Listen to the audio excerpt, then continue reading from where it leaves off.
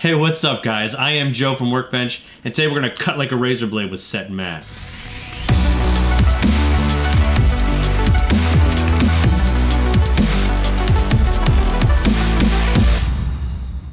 Okay, so today we're to look at the set matte effect. And it can be pretty useful if you don't want your comps littered with like 15 track mattes.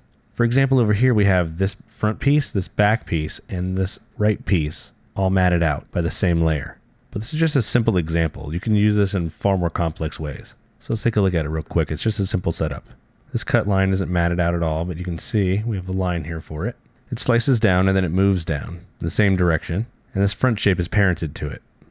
The matte is down here in the bottom and it's actually off. I made it out of a shape because sometimes there can be some weird things when layer sizes mismatch, but I haven't really had an issue when the matte was a shape. And then you also have the added benefit of not having a solids folder with extra stuff cluttering up your project.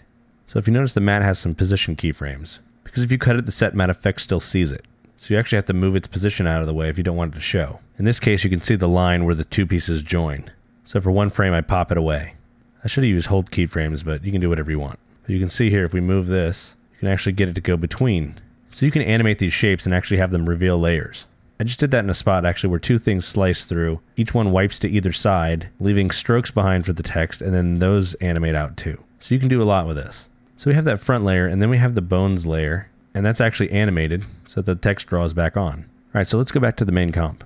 So this slices away, and we're just left with the other piece. So how do you set this up? It's pretty easy. You throw the set matte effect on, and then you pick your matte layer. And in this case, we're to use alpha channel, but you actually have a whole bunch of different selections you can use too. So if you wanted to use a grayscale image or something like that, you can use that to determine your alpha. So the second piece is actually the same thing. It's selecting the same matte, and the only difference is that the matte is inverted. So then we have both sides. The bones have the same matte. It's also inverted. They just don't move, so they're always there. And that's how you use that effect to save you two extra track mattes. With the added bonus that with that single matte layer, you only have to update the animation once. You can just build one, change it, see how it goes. And that's it for this week. Hopefully it's something you haven't seen before that actually will help you save some time by not having to dig through a bunch of layers. And if you've been watching, you know that's one of my favorite things. Alright guys, as always, if you have any comments or questions, leave them in the comments down below. And if you feel like helping to support what I do, check out patreon.com slash workbench. I am Joe, and I will see you guys next week. Go Ninja, go Ninja, go! That's three Vanilla Ice references. Bye.